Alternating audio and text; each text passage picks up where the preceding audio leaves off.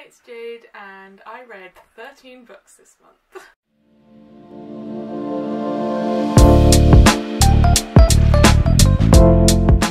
That's it, right? That's the wrap up. Just, I read 13 books. End of video. So I read 10 physical books and 3 audiobooks this month. Uh, I'll start with the audiobooks um, and then we'll move on to the physical books, which is not in the order that I read them in, but I guess that's not all that important really. Okay, so the first audiobook I listened to was Children of Blood and Bone by Tomi Adeyemi. Uh, I gave this five stars. Absolutely incredible. Um, it's been a while since I've read like it wasn't it was not like what I class as high fantasy, but a full world fantasy. Um, Children of Blood and Bone is set in an alternate universe Africa where magic used to be part of everyday life and magi were members of different tribes and each tribe's magi had like a specific specific type of magic that they were adept in. So one tribe um, would have the power to control water, another tribe would have the power to raise the dead, and so on and so forth. Um, but 11 years ago, the king led a cull of all magi and sort of wiped magic from the world. So this book is set after this cull, and it's following a um, I was going to say young girl, no, like young teenager. She's about mm, 18, 19, I believe, uh, called Sel- called Zélie Adebola, um, as she goes on a journey to try and restore magic and make it so that her people aren't treated like second-class citizens anymore. Because she is, or she would have been a magi if magic hadn't been like wiped from the world. Um, beautifully written. The prose is gorgeous in this. The audiobook was just beautiful to listen to as well, and um, yeah. The second audiobook I listened to was Maybe You Should Talk to Someone by Lori Gottlieb. This is a non fiction written by a therapist about her therapist and also some of her patients. Um, the whole premise sort of starts where Lori has just broken up with her long term boyfriend that she was going to marry because he says, you know what, I've just decided I can't live with a kid in the house, despite the fact that Lori had a child when they got together. And it's her sort of realizing that she's not dealing with that very well, so she's go- she goes to a therapist.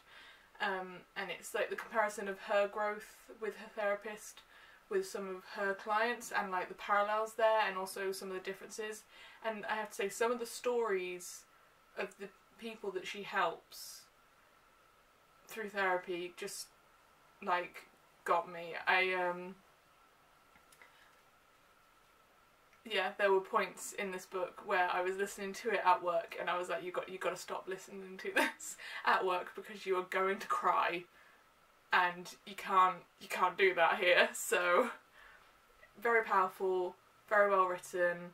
Um, i did listen to this one on like double speed because just because the narration was a little bit slow for my taste. I was a bit like come on no you don't need to pause between every single like word that you're saying here but that's like my only criticism of it i gave this one a oh i also gave this one a five and yes, no, I would stand by that. This one made me feel things that I wasn't, you know, exactly expecting to feel. And the last audiobook I listened to this month was, sorry about that, uh, Gotta Get Through This, My Life and Strange Times in Television uh, by Louis Theroux. Um, I gave this one a three star, that's not three, three star which I am sad about because Louis Theroux is one of my favourite documentary makers.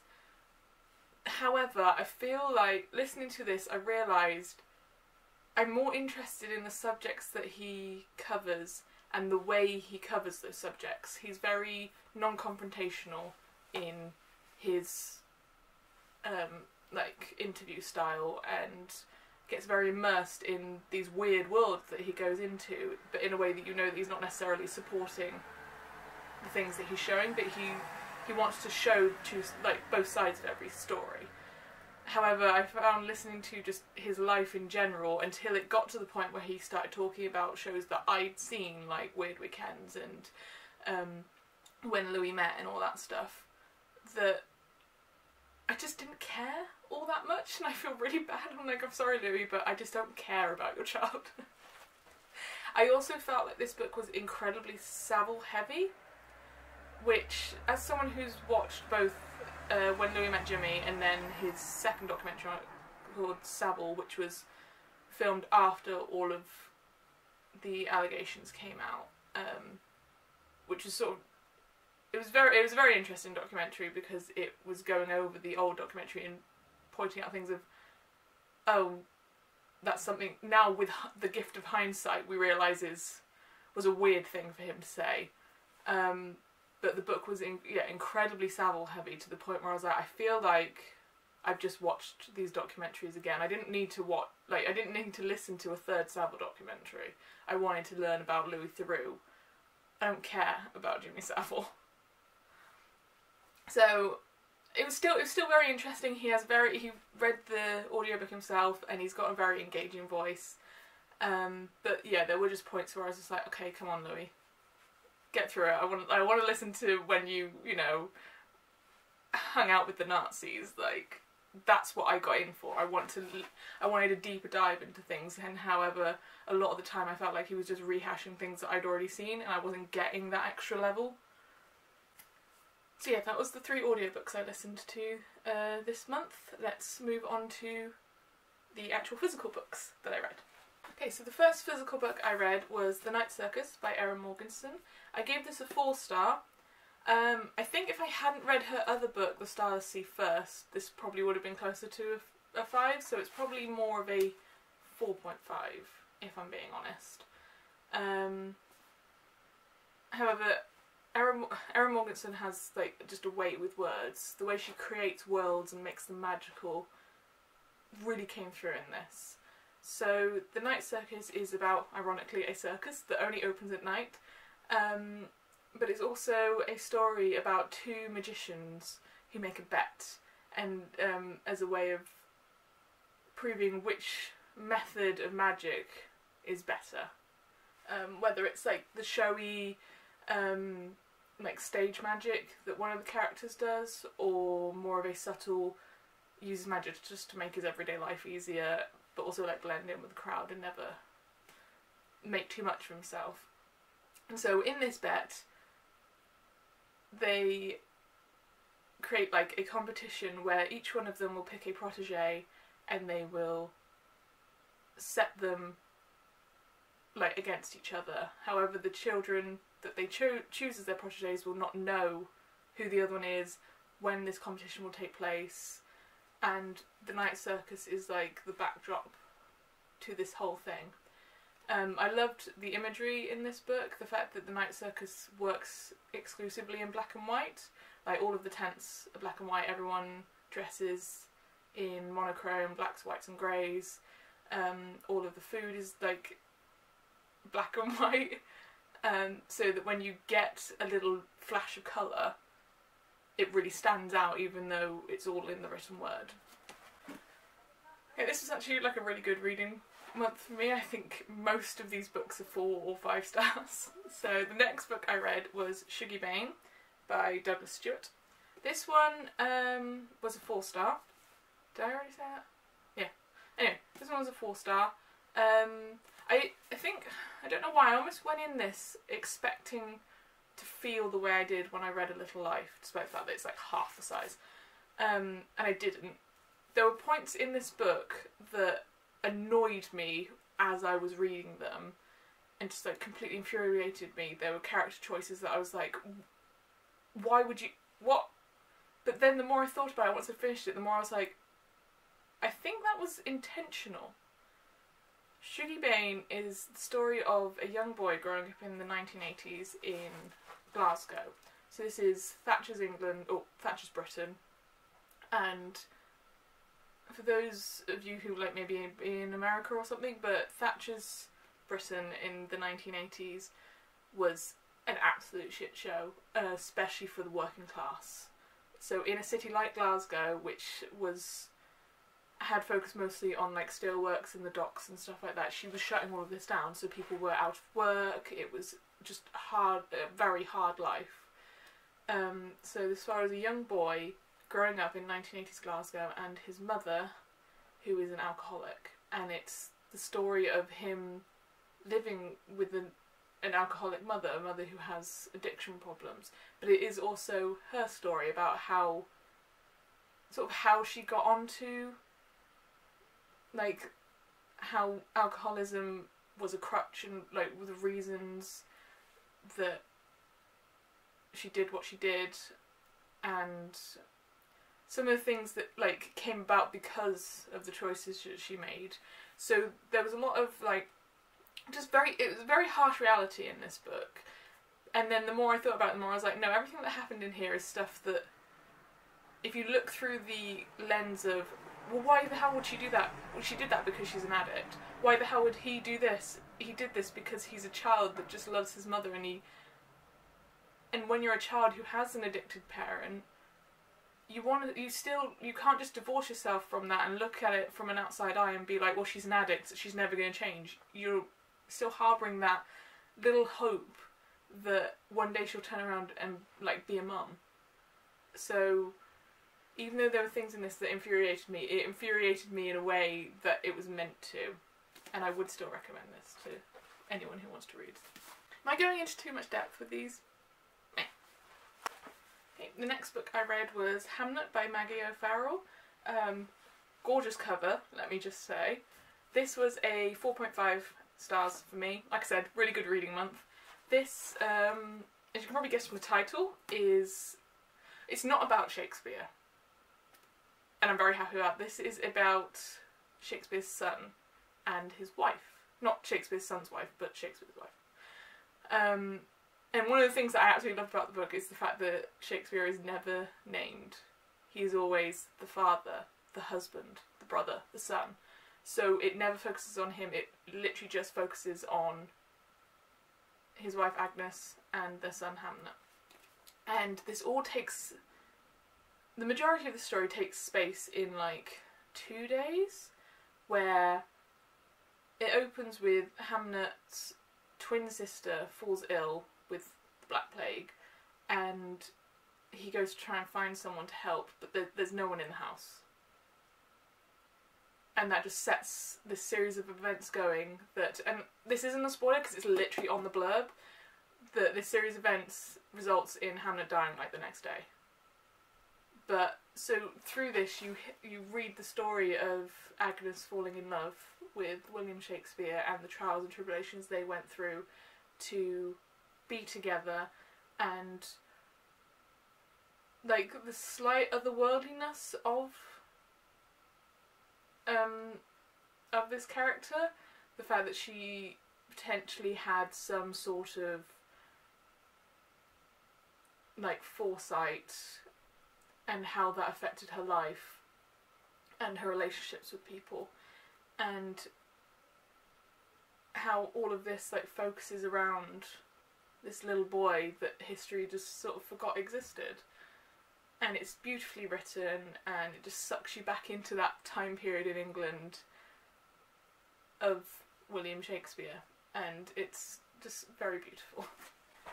so the next book I read was uh, The Diary of a Young Girl by Anne Frank. Um, I gave this a four stars, I believe. Let me just double check. Yeah, no, I I gave this a four stars, um, which is surprising because memoirs tend to not rate get rated all that highly from me, and I find it really hard to rate memoirs most of the time because I read memoirs because normally it's someone who has a very interesting story to tell. However, they're not always writers, so you've got to go in with maybe a different mind frame to what I would if I was reading like a fiction book or something written by a professional author. However, despite being the ages between 13 and 15 when she wrote this, Anne Frank's writing was really good.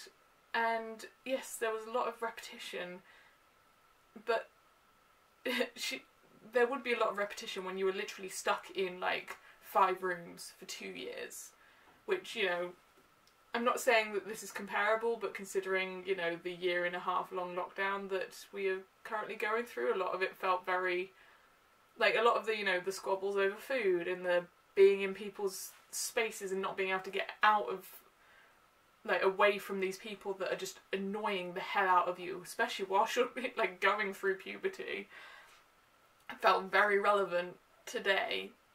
And then, despite the fact that a lot of the things she was writing about in her diary are very mundane, there is always this undercurrent of there's stuff going on outside. Like she'd be talking about an argument that the people in her family and the other family that were living with them were having over food, and also just make a mention of the fact that none of them slept that night because there was there were just bombs dropping outside. But they're both written with the same like level of severity in her little world because that's what it's like. That's what history is like. It's not just these big moments. It's also these mundane things that are happening during massive atrocities. And yeah, I just felt really connected to her as I was reading this book. And I kept having to remind myself, no, this was a real person and this is what she was going through. So yes, no, this was very good. Okay, and the next book I read was The Firekeeper's Daughter by Angeline Boulley. Boulley? Um, once again, another absolutely gorgeous book, can I just say. Uh, this was a five star from me. Amazing. Um, I, for some reason, when I first started reading this, I didn't realise it was technically a thriller. And as I was reading, I was like, oh, oh, this is not what I was thought I was getting into. for some reason, I thought this was a fantasy book, but but it was not. Um, basically, this follows. Um, I don't know if I'm pronouncing this correctly, but I'm gonna say it's like Denise or Dornis, firekeeper, who is a. Once again, I, I'm really sorry if I butcher these words, and maybe I should just like not try and say them. Ojibwe? tribal um she is an Ojibwe woman um which is a Native American tribe on like the borders of Canada and she's well she's her father was a native um a Native American and her mother was white. I say was they're, they're alive well her mother is alive in this. Um, and it's about her trying to stay connected to her native heritage whilst also being a member of her like her her white family as well. Um, and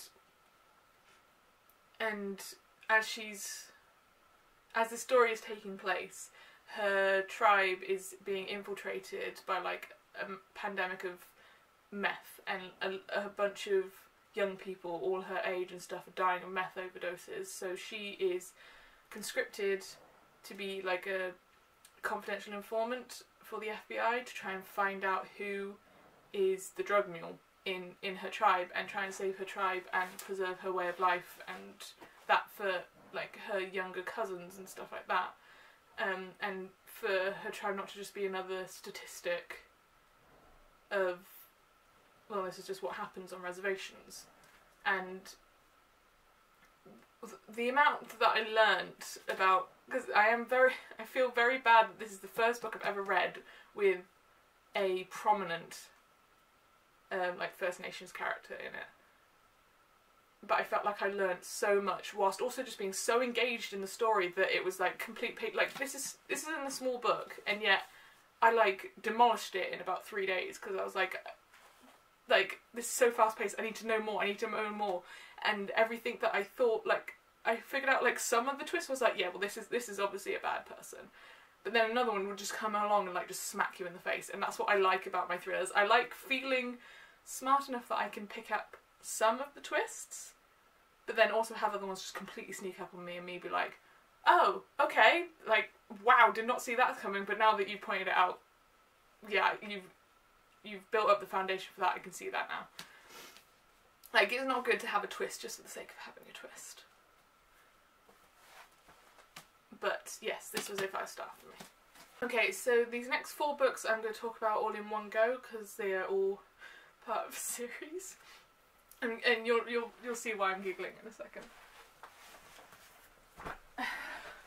So the next four books I read were one to four of Heartstopper, and I'm giggling because literally my last video, Heartstopper number one, was on my August TBR, but I have no self control, and I finished everything that had been on my July TBR and just went, you know what, I need to, I want to read Heartstopper.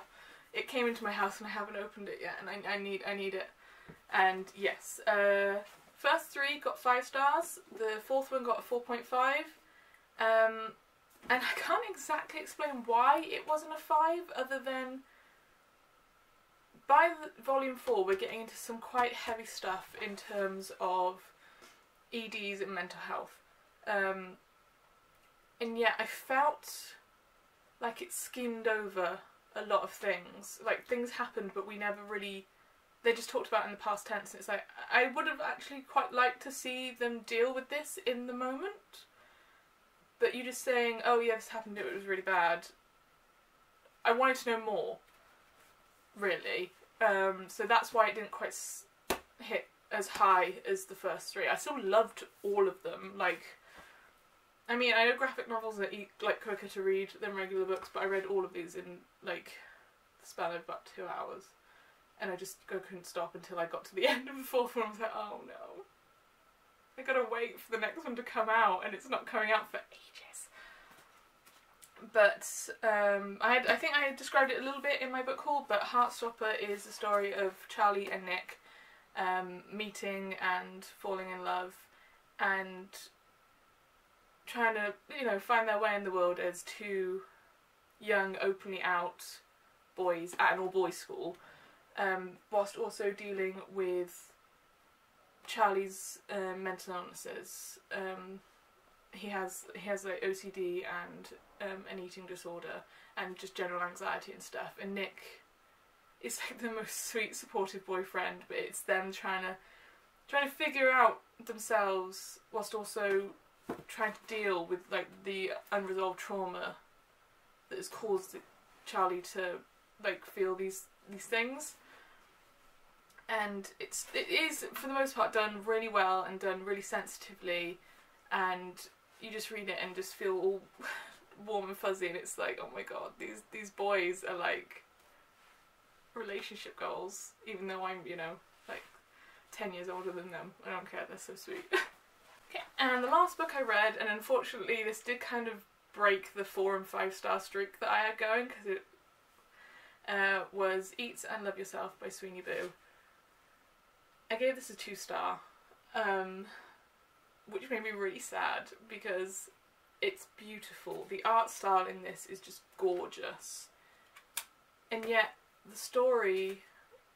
I thought I was getting, even though it's quite short, I thought I was gonna either get into the beginning of like a longer like series or something, or it would just tackle things a bit better. And yet everything in this felt incredibly surface and very rushed. Like, sorry, my book's like falling over as I'm talking. um, so, despite the fact that this is a graphic novel about a girl with an eating disorder trying to figure out her past trauma as to what led to her current state. And yet, the payoff of figuring it out and everything didn't feel earned in any way. I'm not saying you've got to like earn your trauma. That's not what I'm trying to say. I just meant in this, it felt like we just saw a couple of scenes that felt incredibly repetitive and similar to each other, and then all of a sudden she was like, "Oh yeah, no, I figure out what's wrong now. I'm done." It was like, okay, that doesn't feel relatable in any way, and I didn't feel like I related to any of the characters. I didn't feel like any of the characters had character. Like um, Mindy, the main character, I think her characterization was just sad and eats a lot, and that was it. And like her one friend that we see like on multiple occasions, her character was just talks without thinking about it, and that's it. And it was like. I know it's a short graphic novel, but give me more, please. Like. Anyway, so it ended on a little bit of a sour note. However, the sheer amount of good books that I read this month, just one bad book couldn't like destroy that. Um, now, 13 books is, is a lot for me. I know five of those were graphic novels, but 13, yeah, is not. It's not necessarily going to be something I can sustain. Um, it I do average about like five to seven books a month, so this is probably a bit longer than most of my wrap-ups will be. Don't know why I'm giving you this disclaimer. I'm not sure. But um, yes, uh, have you read any of the books that are on this list? Do you agree with my opinions? Do you completely disagree with my opinions? That's absolutely fine. Um, leave your opinions in the comments, but just please be nice to each other. We like opinions, but we don't like nastiness.